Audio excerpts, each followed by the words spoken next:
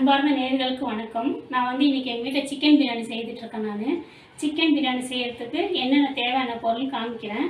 இதை பார்த்து நீங்களும் செய்து சாப்பிட்டு எப்படி இருக்குன்னு சொல்லுவீங்க.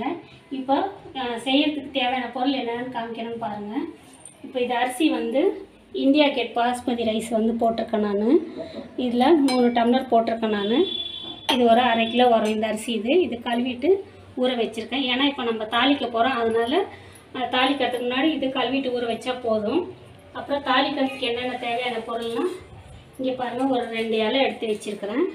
ஒரு நாலு ஏலக்காய் அஞ்சு ஏலக்காய் ஒரு ஏழு எட்டு லவங்கம் இந்த பட்டை ஒரு நாலஞ்சு துண்டு எடுத்து வச்சுருக்கிறேன் நான்.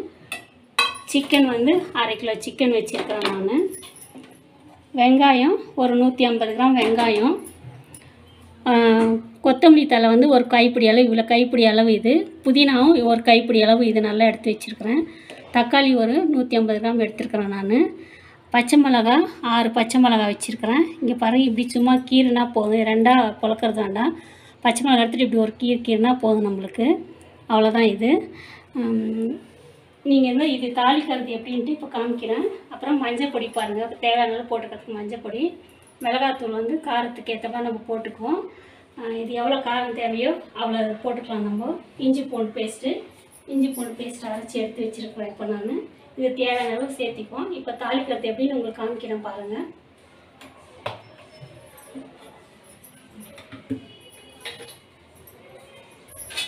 குக்கர் வச்சுக்கலாம் நம்ம. குக்கர் வச்சுட்டு ஸ்டவ் ஆன் பண்ணி விட்டுக்கலாம்.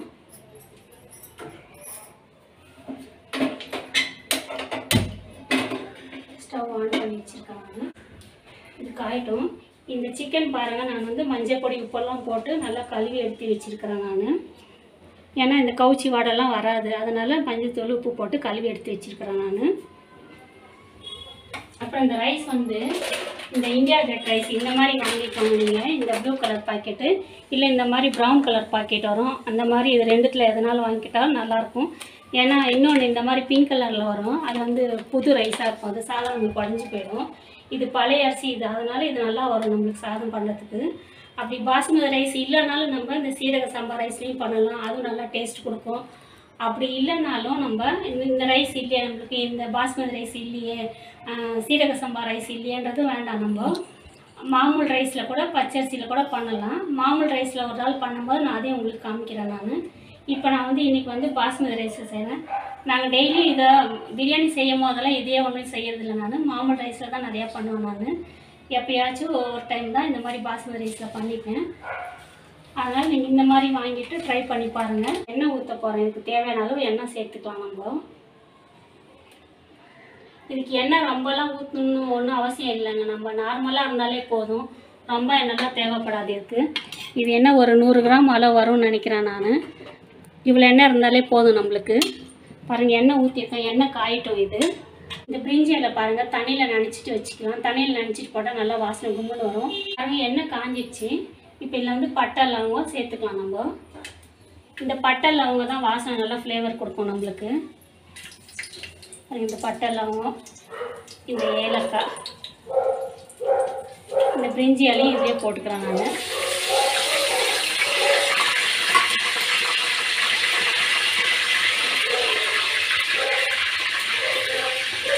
இப்போ வெங்காயம் சேர்த்துக்கலாம் நான். பாருங்கள் நல்லா பொறிஞ்சு வந்துடுச்சு இப்போ வெங்காயம் சேர்த்துக்கலாம்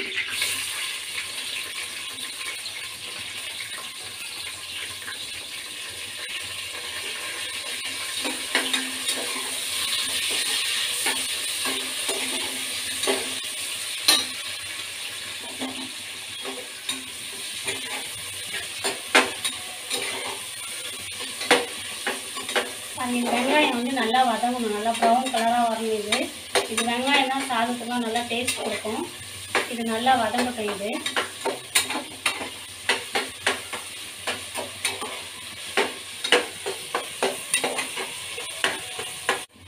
பாருங்கள் இது வதங்கிட்டு இருக்கு வதங்கட்டும் இது எப்போவுமே நம்ம பிரியாணி செய்யும் போது ஒரு கிலோ அரிசினா ஒரு கிலோ சிக்கன் போட்டுக்கோங்க. அப்போ தான் செடி செடி போட்டால் தான் நம்மளுக்கு சாதம் டேஸ்ட் கிடைக்கும் நல்லாயிருக்கும் அதனால் இப்போ நான் வந்து இது அரை கிலோ அளவுக்கு எடுத்துருக்கறதுனால நான் அரை கிலோ சிக்கன் வச்சுருக்கிறேன் நான். நீங்கள் எவ்வளோ செய்வீங்களோ அதுக்கேற்ற மாதிரி ஒரு கிலோ அரிசினா ஒரு கிலோ சிக்கன் போட்டுக்கோங்க. ரெண்டு கிலோ அரிசினா ரெண்டு கிலோ போட்டுக்கோங்க. இப்போ கால் கிலோ அரிசினா கால் கிலோ சிக்கன் போட்டுக்கோங்க. அப்போ நல்லா பிரியாணி டேஸ்ட் கிடைக்கும் நம்மளுக்கு. அது கூட நம்ம சேர்த்துற பொருளும் தேவையான அளவு கரெக்டாக சேர்த்தோம்னா இப்போ ஒரு கிலோ அரிசினாக்கா நீங்கள் கால் கிலோ வெங்காயம் கால் கிலோ தக்காளி. இப்போ அரை கிலோனா ஒரு நூறு கிராம் நூற்றி ஐம்பது கிராம் நூற்றி ஐம்பது கிராம்குள்ளே போட்டுக்கோங்க. சரியாக இருக்கும் நம்மளுக்கு. அப்புறம் பச்சை மிளகா வந்து இப்போ நான் ஆறு பச்சை மிளகா சேர்த்துருக்கேன். நான் வந்து இது செய்யறது வந்து கொஞ்சம் ஸ்பைசியாக தான் இருக்கும். எங்கள் வீட்டில் ஒரு சிலர் காரம் கம்மியாக சாப்பிடுவீங்க. அப்போ அந்த இஞ்சி பூண்டு டேஸ்ட்டும் இந்த பச்சை மிளகாவும் கம்மி பண்ணி போட்டுக்கோங்க. நல்லாயிருக்கும் உங்களுக்கு. பொதுவாக பிரியாணி எல்லாம் கொஞ்சம் காரமாக தான் சாப்பிடுவாங்கன்னு நினைக்கிறேன் நான். எங்கள் வீட்டில் அப்படி தான் சாப்பிட்றாங்க. உங்கள் காரத்துக்கு ஏற்ற மாதிரி அந்த இஞ்சி பூண்டு டேஸ்ட் சேர்த்துக்கோங்க.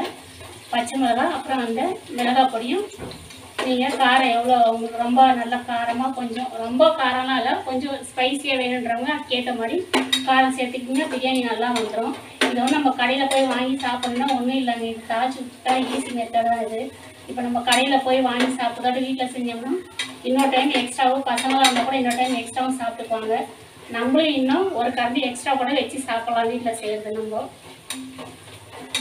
இது வதங்குது பாருங்கள் இது வதங்கிட்டு இருக்கட்டும். இன்னும் கொஞ்சம் நல்லா ப்ரௌனாக வரணும் இது. நல்லா வதங்கட்டும் வெங்காயம். பொதுவாகவே பிரியாணினா எல்லாருக்குமே ரொம்ப இஷ்டம். ரொம்ப நல்லா பிடிக்கும். எங்கள் வீட்டிலலாம் எங்கள் பசங்க பிரியாணினா நல்லா சாப்பிடுவாங்க. ரொம்ப இஷ்டம் அவங்களுக்கு. அதனால் கொஞ்சம் நான் எக்ஸ்ட்ராவே தான் செய்வேன். இன்னொரு டைமுக்கும் சாப்பிட்டுக்குவாங்க அவங்க.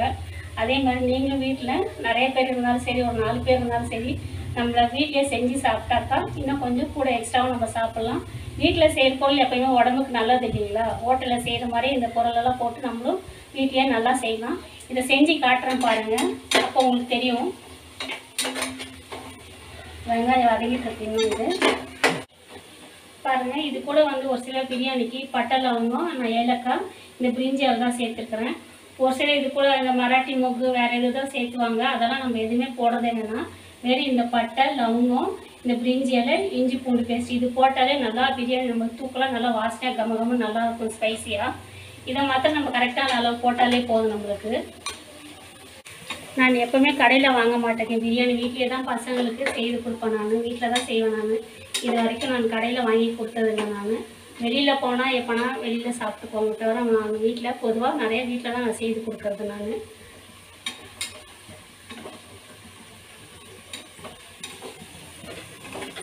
பாருங்க நல்லா செவந்து வந்துட்டுருக்கு வெங்காயம்.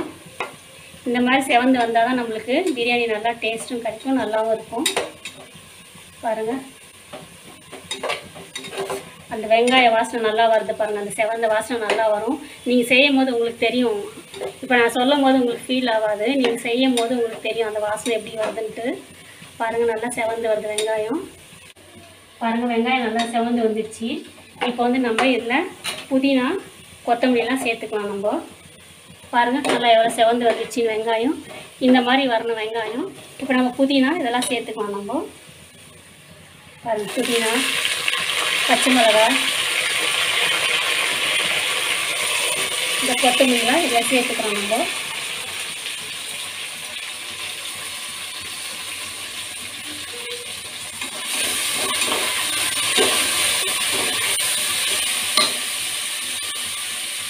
சேர்த்துட்டு இப்போ தேவையான இஞ்சி பூண்டு பேசி சேர்த்துக்கிறோம் நம்ம. ஒன்று ரெண்டு மூணு ஸ்பூன் சேர்த்துருக்கேன் நான். மூன்றரை ஸ்பூன் சேர்த்துருக்கேன் நான்.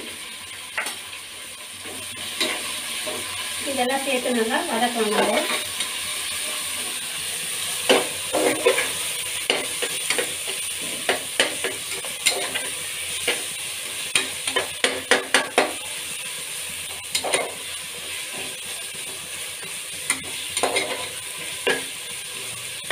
பாருங்க கம்மன் வாசனையாக வருது இது.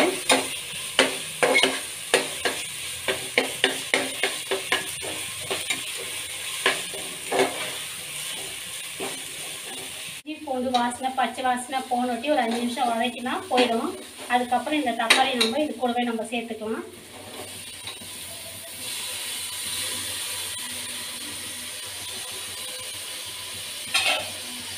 அது தக்காளி போட்டு நல்லா வதக்கிக்கலாம்.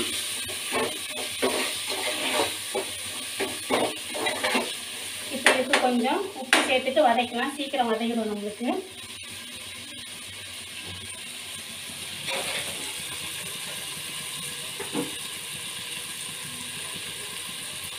சரி இந்த கல் கூட இதே சேர்த்துட்டு வதக்கிறதுக்கு.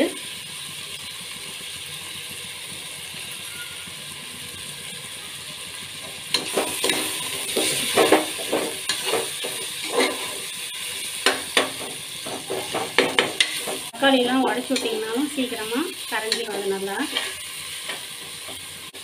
இப்போ இது கூட வந்து காரத்துக்கு மிளகாத்தூள் மஞ்சத்தூள் சேர்த்து போகிறேன் நான். பார்த்து தக்காளி கரைஞ்சிடுச்சு நல்லா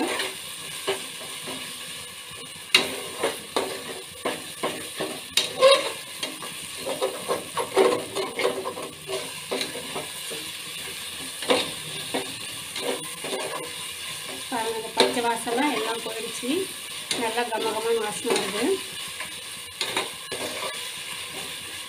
பாருங்க இப்போ இதுக்கு மிளகாப் பொடி மஞ்சப்பூ சேர்த்துக்கிறேன் நான். பாருங்கள் இது வெறும் மிளகாத்தூள் தான் இதில். இல்லை தனியா பொடி வேறு எதுவும் சேர்க்கல. ப்ளைன் மிளகா பொடி தான். இப்போ வந்து நான் வந்து இது ஒரு ஸ்பூன் போட்டிருக்கேன். எங்களுக்கு காரம் கொஞ்சம் ஜாஸ்தி சாப்பிடுவோம். ஜாஸ்தினா இது ரொம்ப காரம் இருக்காது. இது தேவையான அளவு தான் போடுறேன் நான். உங்களுக்கு எவ்வளோ காரம் தேவை நீங்கள் அந்த மாதிரி போட்டுக்கலாம். நான் இப்போ ஒரு ஒன்றரை ஸ்பூன் சேர்த்துக்கிறேன் நான் இதில். மஞ்சள் பொடி ஒரு கால் ஸ்பூன் சேர்த்துக்கிறேன். இப்போ இதெல்லாம் சேர்த்து உடப்போம்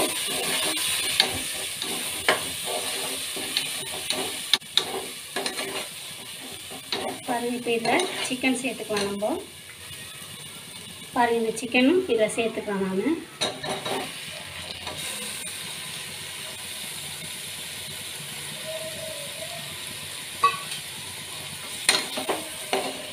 சிக்கன் சேர்த்துட்டு இது நல்லா கலந்து கொடுங்க.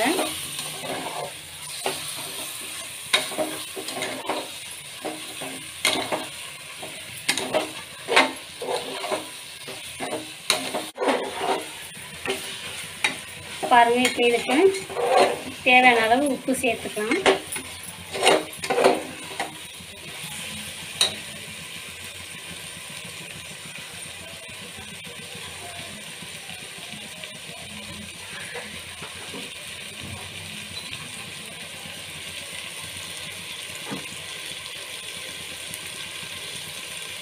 இந்த பிரியாணிக்கு தேவையான அளவு உப்பு சேர்த்துறேன் நான். கல் உப்பு தான் போட்டிருக்கேன் நான். நீங்கள் சால்ட்டு போடுறவங்க சால்ட் சேர்த்துக்கோங்க நான் கல் உப்பு தான் நிறையா யூஸ் பண்ணுவேன் ஜாஸ்தி. நான் கல் உப்பு சேர்த்துட்ருக்கேன் நான். இது போட்டுட்டு நல்லா கட்டி கொடுக்கலாம். அரிசிக்கு தேவையான இப்படியே தண்ணி வச்சுட்டு விட்டோம்னா அந்த சிக்கன் வந்து அந்த காரெல்லாம் இறங்காது.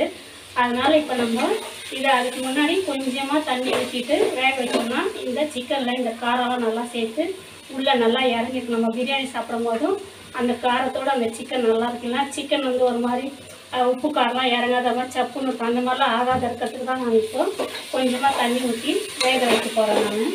ஒரு அஞ்சு நிமிஷம்.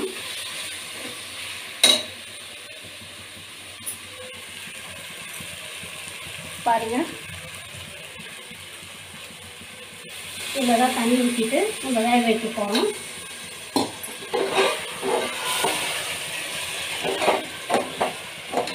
பாருங்க நான் ஏன் இதுக்கு தண்ணி ஊற்றி வேக வைக்கிறேன்னா இந்த காரம்லாம் நல்லா அந்த சிக்கனுக்கு இறங்கும். அதனால தான் நான் கொஞ்சம் தண்ணி ஊற்றிட்டு ஒரு அஞ்சு நிமிஷம் வேகட்டுன்னு சொல்கிறேன் இது வெந்ததுக்கப்புறம் நம்ம ரைஸ்க்கு தேவையான அளவு தண்ணி வச்சுக்கலாம். இது ஒரு அஞ்சு நிமிஷம் வேகட்டும் இருங்க.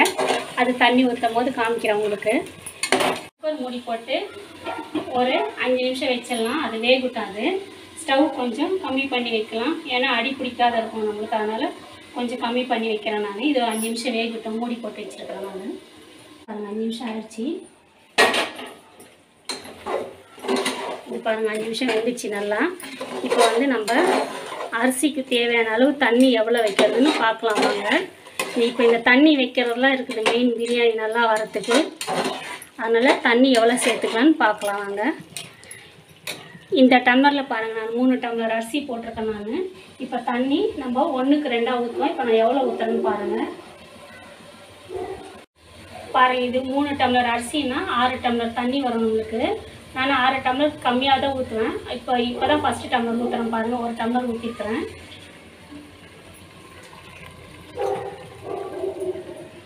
பாருங்கள் ஒன்று இது ரெண்டாவது டம்ளர் இது.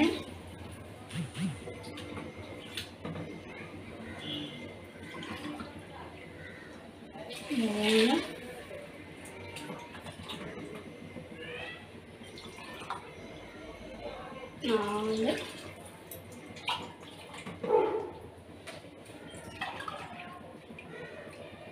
அஞ்சு டம்ளர் தண்ணி ஊற்றிருக்கிறேன் நான். இது கொஞ்சம் நல்லா பிச்சு பிச்சாக வரும். பிரியாணி நல்லா. உடஞ்சிலாம் போகாத நல்லா வரும். இப்போ இந்த தண்ணி கொதி வந்தவொடனே நம்ம அந்த அரிசி வடிகட்டிட்டு தண்ணி இல்லாத போட்டுக்கலாம் நம்ம. என்னடா இது மூணு டம்ளர் அரிசிக்கு ஆறு கிளாஸ் தண்ணி வரையும் அஞ்சு கிளாஸ் வச்சுருக்கீங்கன்னு நினைப்பீங்க. கொஞ்சம் நல்லா பல பலன்னு வரணுன்றதுக்கோசரம் நான் ஒரு டம்ளர் கம்மி தான் வச்சுருக்கேன். ஏன்னா இந்த கோழிலையும் நம்மளுக்கு தண்ணி விடும். இது வேகும் போது அந்த ஆவிலே வெந்துடும் அதனால் ஒரு டம்ளர் நான் கம்மி பண்ணி வச்சுருக்கிறேன் நான். இப்போ இதை மூடி வச்சுக்கலாம் தண்ணி கொதி வந்தொட்டி அரிசி போட்டுக்கலாம் வாங்க. பாருங்கள் தண்ணி நல்லா கொதிக்குது இது இப்போ வந்து இந்த அரிசி நான் வந்து வடிகட்டி வச்சுருக்கேன் தண்ணி இல்லாத. இப்போ இந்த அரிசி அது உள்ளே போட்டுடலாம் நம்ம. பாருங்கள் தண்ணியெலாம் வடிகட்டிட்டு வச்சுருக்கேன் நான். இப்போ வந்து இதை இது உள்ளே போட்டுடலாம் நம்ம. போட்டு பாருங்கள் அரிசி தண்ணி இல்லாத நல்லா வடிச்சிட்டு வெறும் அரிசி தான் போட்டிருக்கேன் நான். இது அரிசி நான் கழுவுறன்ற பேரில் சும்மா போட்டு அரிசி நம்ம இப்படி இப்படி பண்ணி உடச்சிடக்கூடாது. சும்மா மொல்லமாக அப்படி கழுவிக்கணும். அவ்வளோதான் போதும் நம்மளுக்கு கழுவுனாக்கா. இப்போ பாருங்கள் அரிசி போட்டேன் நான். இது கிளறி கொடுக்கறது ரொம்ப முக்கியம். பாருங்கள் அரிசி போட்டுட்டேன் இப்போ நான். இது பாருங்கள் சும்மா லேசாக அப்படி கலக்குனா போதும். அரிசி போட்டுட்டு சும்மா நீங்கள் ஜல்லிக்கண்ணி விட்டு சும்மா ரொம்ப பரட்டி பரட்டி கொடுத்துட்டீங்கன்னா இந்த சாதம்லாம் உடஞ்சி போய்டும் ரைஸ் எல்லாம் உடஞ்சிட்டு சாதம் வந்து உடஞ்சி போயிடும். நல்லா இருக்காது. அதனால் சும்மா இப்படி ஒரு கலர் கலக்கி கொடுங்க போதும். எல்லாம் ஒன்றா சேர்ந்துடும் பாருங்கள் போதும். இதை அப்படியே இப்போ மூடி போட்டு வேகட்டும். மூடி வச்சுட்டு காட்டுறேன் இருங்க. குக்கரில் கூட இப்போ நான் விசில் விட மாட்டேன் நான். விசில் விடாதே தான் நான் உங்களுக்கு நம்ம குண்டாவில் செய்கிற பாத்திரத்தில் செய்கிற மாதிரி தம் போட்டு தான் இதையும் நான் உங்களுக்கு காமிக்க போகிறேன் பாருங்கள் அரிசி போட்டு இப்போ சும்மா ஒரு கிளறி கிளறி கொடுத்துருக்கேன் நான். இப்போ இது வந்து குக்கர் வந்து கேஸ்கெட் போட்டுட்டு தான் மூடி வைக்கிறேன் நான். ஸ்டவ் கொஞ்சம் ஃப்ளேமில் தான் வச்சுருக்கேன் நான். பாருங்கள் இப்போ நம்ம திறந்து காமிச்சேன் இல்லைங்களா அப்பயும் உங்களுக்கு தண்ணி சுண்டுட்டுன்னு.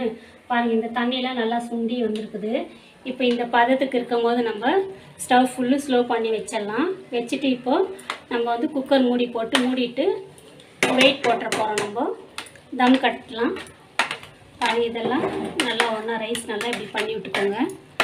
ஈக்குவலாக நீட்டாக வந்துடும் பாருங்கள் இப்போ இதுலேயே முக்கால்வாசி ரைஸ் எல்லாம் வெந்து போச்சு நம்மளுக்கு. இன்னும் அந்த தண்ணியெல்லாம் நல்லா இழுத்துட்டு நம்மளுக்கு நல்லா ரெடி ஆகிடுச்சு ஈஸி மெத்தட் தான் பாருங்கள் இவ்வளோ தான் சிம்பிள் தான் இவ்வளோ தான் நம்மளே வீட்டிலே ப்ரிப்பேர் பண்ணி சாப்பிட்லாம் எல்லோரும். இந்த பாருங்கள் இப்போ மறுபடியும் நான் மூடி வைக்கிறேன். மூடி வச்சுட்டு இப்போ வந்து நான் விசில் போட போகிறேன் ஸ்டவ் பாருங்கள் ஃபுல் ஸ்லோவில் தான் வச்சுருக்கேன் நான். இது ஒரு அஞ்சு நிமிஷம் அப்படியே இருக்கட்டும். இப்போ வந்து வெயிட் போடுறேன் நான். பாருங்கள் ஸ்டவ் வந்து நான் வந்து ரொம்ப ஸ்லோவில் தான் வச்சுருக்கேன் நான். பாருங்கள் ரொம்ப கம்மி பண்ணி தான் வச்சிட்ருக்கேன் நான். இது ஒரு அஞ்சு நிமிஷம் அப்படியே இருக்கட்டும் நம்மளுக்கு. அதுக்கப்புறம் நான் இது எடுத்துகிட்டு நான் உங்களுக்கு திறந்து காமிக்கிறேன் பாருங்கள் ரைஸ் வெந்திருக்குன்னு. அவ்வளோதாங்க சிம்பிள் மெத்தட் அது சீக்கிரமாக பிரியாணி ரெடி ஆகிடும் நம்ம இது ரெடி பண்ணி வச்சிட்டோம்னா வீட்லேயும் நல்லா செஞ்சு சாப்பிட்றோம் நம்ம. இதை சாப்பிட்டுட்டு ஒரு வாட்டி நீங்கள் செஞ்சு சாப்பிட்டுட்டு எப்படி இருக்குன்னு பாருங்கள் சூப்பராக இருக்கும். இதை சாதம் எடுத்துகிட்டு காமிக்கிறேன் பாருங்கள் நான் உங்களுக்கு.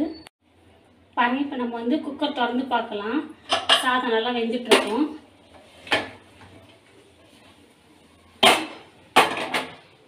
பாருங்கள் சாதம் நல்லா வெந்துட்டுருக்குது.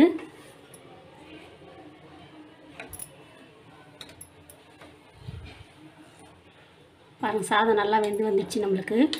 தண்ணிலாம் பாருங்கள் அளவாக ஊற்றிருக்கோம் சாதம் நல்லா வந்திருக்கு. இப்போ வந்து நம்ம ஸ்டவ் ஆஃப் பண்ணிடலாம். ஆஃப் பண்ணிட்டு இது கூட வந்து நம்ம ஒரு ரெண்டு ஸ்பூன் அளவு நெய் சேர்த்துக்கலாம் நம்ம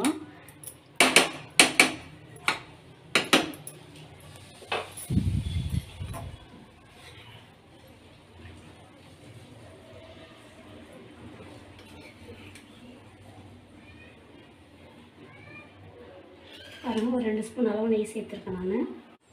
பாருங்கள் இப்போ நெய் ரெண்டு ஸ்பூன் சேர்த்துட்ருக்கேன்.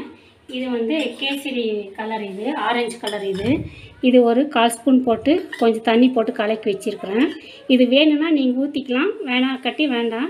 இது ஹோட்டலில் இப்படி ஊற்றுவாங்க கலர் பார்க்க நல்லாயிருக்கும் அங்கங்கே ஒரு சாதம் கலராக ரெட்டாக ஒரு மாதிரி நல்லா தெரியும். அதனால் நான் ஊற்றுறேன் நான். உங்களுக்கு இஷ்டம் இருந்தால் ஊற்றிக்கோங்க இல்லைன்னா வேண்டாம். இது சும்மா அப்படி கொஞ்சம் மேலே தெளித்து விட்டுடலாம். அப்போ நம்ம சாதம் எடுத்து கலக்கும் போது இது ஒரு சாதம் ரெட்டும் ஒரு சாதம் இந்த கலரில் நல்லா தெரியும் நம்மளுக்கு. பாருங்கள் இதை வந்து தெளித்து விட்டுருக்கலாம் நான்.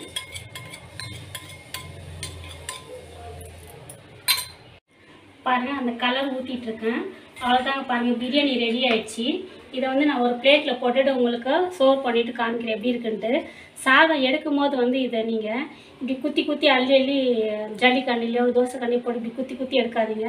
ஒரு பக்கமாக இருந்து இப்படி எடுத்திங்கன்னா ரைஸ் வந்து நல்லா நீட்டாக பாருங்கள் எவ்வளோ நீள நீளமாக வந்திருக்குன்னு. இந்த மாதிரி நல்லாயிருக்கும் நான் எடுத்துகிட்டு உங்களுக்கு காமிக்கிறேன் பிளேட்டில் வச்சு காமிக்கிறேன் பாருங்கள் எப்படி சாதம் வந்திருக்குன்னு. இதே மெத்தடில் நீங்களும் செஞ்சு பாருங்கள் சூப்பராக வரும் பிரியாணி. சாப்பிட்டு எப்படி இருக்குன்னு சொல்லிட்டு கண்டிப்பாக சொல்லுங்கள் இப்போ இது வந்து ஒரு தட்டு போட்டு மூடிடலாம். குக்கர் மூடியை கூட போட்டு நம்ம மூடிக்கலாம் நம்ம. பாருங்க நான் வந்து ஒரு தட்டு போட்டு மூடிக்கிறேன். போதும். குக்கர் முடி மறுபடியும் ஏன் மூடலன்னா இந்த குக்கர் முடி போட்டால் என்ன அந்த சூட்லேயே என்ன நல்லா வெந்து போயிட்டு கொல கொலன்ட்டு ஆகிடும் அதனால் அப்படி மூடாத எடுத்துட்டேன் நான். இந்த மாதிரி நீங்கள் குக்கரில் பண்ணிங்கன்னா தயவு செஞ்சு விசில் விட்டு பண்ணாதீங்க. நல்லாவே இருக்காது சாதம். இந்த மாதிரியே பண்ணுங்கள் நல்லா சூப்பராக வரும். நல்லா இருக்கும் டேஸ்ட்டாகவும் இருக்கும். இதை நான் உங்களுக்கு தட்டில் போட்டுட்டு எப்படி இருக்குன்னு காமிக்கிறேன் பாருங்கள் பாருங்கள் நான் வந்து இப்போ கபாப் செய்ய போகிறேன் நான். கபாப் செய்யறது எப்படின்ட்டு காமிக்கிறேன் பாருங்கள் இப்போ வந்து அரை கிலோ சிக்கன் இது. எலுமில்லா சிக்கன் எடுத்து வச்சுருக்கிறேன் நான். இப்போ நான் வந்து கபாப் போடு வந்து கடையில் வாங்கலை நான். கான்ஃப்ளவர் பவுடர் போட்டு மிச்சம் எல்லாம் மிளகா போட்டு இஞ்சி பூண்டுலாம் பேஸ்ட் எல்லாம் போட்டு நானே வீட்டில் ரெடி பண்ணிப்பேன் அது எப்படி பண்ணுறதுன்னு காமிக்கிறேன் பாருங்கள் இப்போ இது அரை கிலோ சிக்கன் இது. இது வந்து கார்ன்ஃப்ளவர் பவுடர் இது.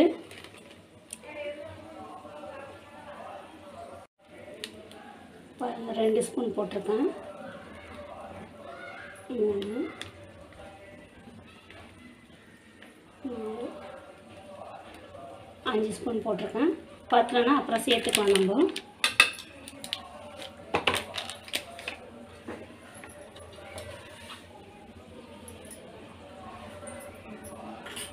இப்போ வந்து இஞ்சி பூண்டு பேஸ்ட்டு. ஒரு அரை ஸ்பூன் முக்கால் ஸ்பூன் போட்டிருக்கேன் நான். இது வந்து வெறும் மிளகாத்தூள் தான் இது. தனியாலாம் இது சேர்த்தாது இது.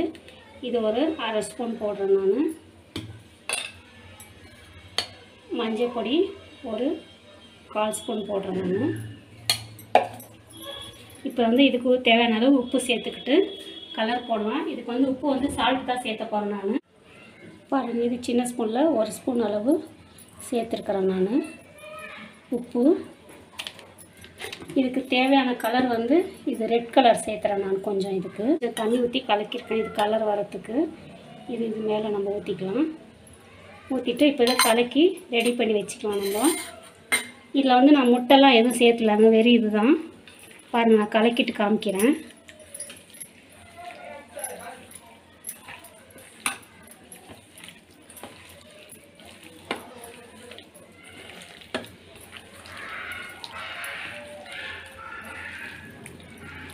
பாருங்கள் இப்போ வந்து இது வந்து கார்ன்ஃப்ளவர் பவுடர் வந்து கம்மியாக இருக்குது. நம்ம இன்னும் கொஞ்சம் சேர்த்துக்கலாம் இதில்.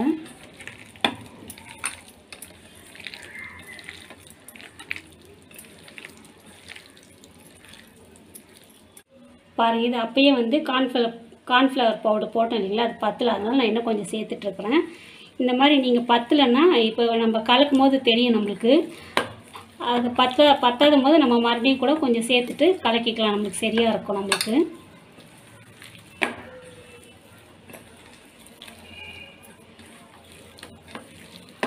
பாருங்க இப்போ கரெக்டாக இருக்குது இப்போ டைட்டாக இப்போ இது நம்மளுக்கு உப்பு காரம் எல்லாம் சரியாக இருக்கான்னு பார்க்கணுன்னா நம்ம இந்த கலக்கியிருக்கோம் இல்லைங்களா? மிளகாத்தூளெல்லாம் கரெக்டாக இருக்கா? நம்ம காரெல்லாம் சரியாக இருக்கான்னு பார்க்கறதுக்கு. இந்த கலக்கின பாருங்கள் இந்த கலக்கியிருக்கோம் இல்லைங்களா? இந்த இதை வந்து நீங்கள் சும்மா ஒரு துளி வாயில் போட்டு பார்த்தீங்கன்னா தெரியும். இப்போ நானும் அதே மாதிரி போட்டு பார்க்க போகிறேன் உப்பு காரம்லாம் கரெக்டாக இருக்கான்ட்டு.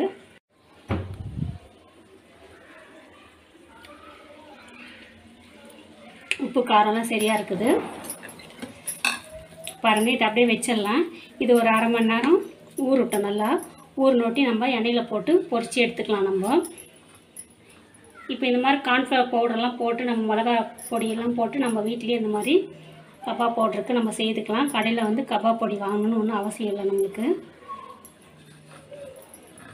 இதுவும் ஈஸியான மெத்தட் தான். போட்டு பசஞ்சு வச்சுக்கலாம் நீங்கள் கலக்கிட்டு. பாருங்கள் இது நல்லா ஊறட்டும். தண்ணியெல்லாம் நான் இதில் எதுவும் சேர்த்துல. ஒரு சில இதில் வந்து முட்டை வெள்ளைக்கரு போடுவீங்க. நான் வந்து முட்டை வெள்ளைக்கருவெல்லாம் போடல. இது நான் சும்மா வெறும் லைனாக தான் முட்டை வெள்ளைக்கரு சேர்த்தாத நான் உங்களுக்கு கலக்கி இப்போ காமிச்சிட்ருக்கேன். தண்ணி இதில் எதுவும் சேர்த்திக்கல நான். கொஞ்சம் கூட நான். இப்போ வந்து இந்த கோழி வந்து நம்ம உப்பெல்லாம் போட்டு கலக்கிறதுனா இதே தண்ணி விட்டு போவோம் நம்ம நம்மளுக்கு. இது ஊறட்டும் ஒரு அரை மணி நேரம். அதுக்கப்புறம் நம்ம எண்ணெயில் பொரிச்சு எடுக்கிறது எப்படின்ட்டு காமிக்கிறேன் உங்களுக்கு நான். பாருங்க இப்போ வந்து நான் வந்து கபாப் போட போகிறேன் ஸ்டவ் ஆன் பண்ணி ஒரு கடாய் வச்சு எண்ணெய் ஊற்றி வச்சுருக்கேன். இது கொஞ்சம் ஸ்டவ் மீடியமாக தான் வச்சு வச்சுருக்கேன். ஏன்னா ரொம்ப சூட்டில் போட்டாக்கா இது உள்ளெல்லாம் சரியாக வேகாது. அதனால் மீடியம் சூட்டில் போட்டிங்கன்னா கொஞ்சம் நல்லா வெந்து வரும். எண்ணெய் காஞ்சிட்டும் கொஞ்சம் போடலாம் பாருங்கள் இது. பாருங்கள் இது அரை மணி நேரம் முன்னாடி கலக்கி வச்சோம் இல்லைங்களா? மசாலாலாம் நல்லா இறங்கி நல்லா கலந்துருக்கு பாருங்கள் நல்லா. இப்போ வந்து நம்ம எண்ணெய் காஞ்சி வச்சு போடலாம் நம்ம.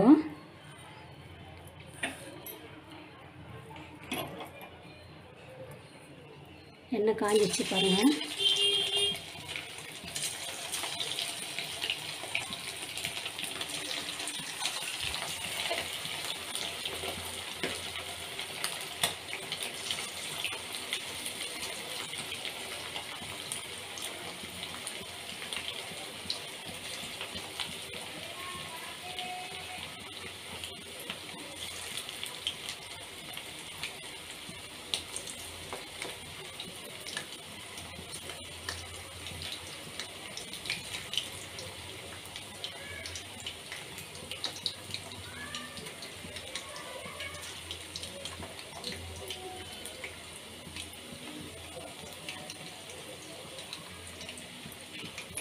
போதும் இது வேகட்டும் இது. அப்புறம் இன்னொரு வாட்டி போட்டுக்கிட்டு சரியாக இருக்கும் நமக்கு இது வேகட்டுதுங்க. எடுத்துகிட்டு காமிக்கிறேன் உங்களுக்கு.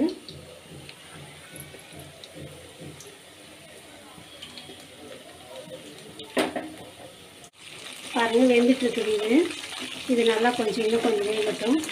பாருங்கள் கலர் எப்படி வந்திருக்குன்னு பாருங்கள் நம்ம கடையில் கபாப் பொடி வாங்குறதே வேண்டாம். நம்மளே இது மாதிரி போட்டுக்கலாம். தேவையான அளவு.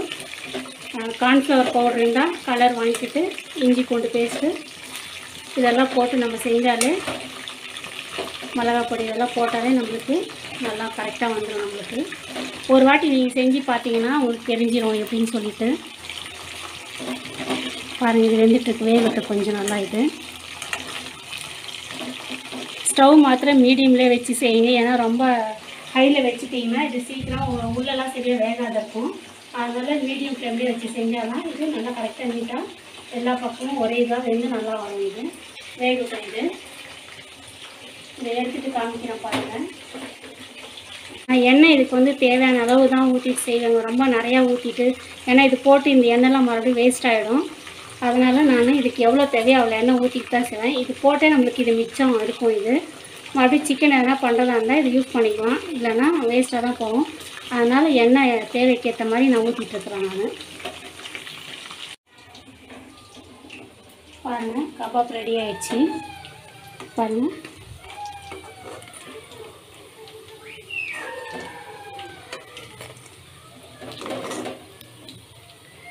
இதே மாதிரி அந்த மிக்சர் இருக்கிறதையும் நம்ம போட்டுக்கலாம்.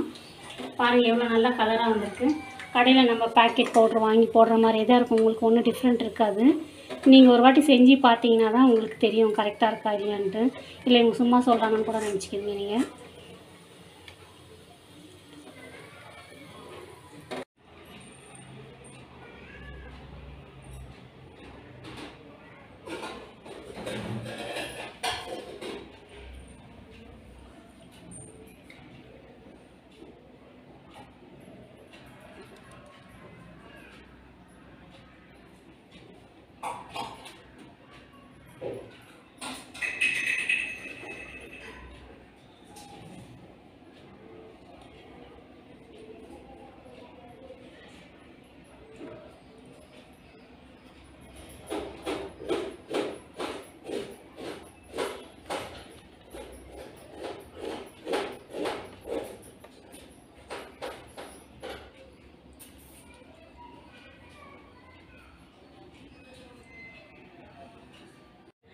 பாருங்கள் சாதம் நல்லா எவ்வளோ உதிரி உதிரியாக நல்லா வெந்துடுச்சு. சிக்கனும் பாருங்கள் எவ்வளோ நல்லா வெந்து வந்திருக்கு நம்மளுக்கு. இது மாதிரி நீங்கள் செய்து சாப்பிட்டு எப்படி இருக்குன்னு சொல்லுங்கள் ஷேர் பண்ணுங்கள் லைக் பண்ணுங்கள் கமெண்ட் பண்ணுங்கள் சப்ஸ்கிரைப் பண்ணுங்கள் கண்டிப்பாக மறக்காமல் கமெண்ட் பண்ணுங்கள் எப்படி இருக்குன்னு சொல்லிவிட்டு செஞ்சு சாப்பிட்டு சொல்லிவிட்டு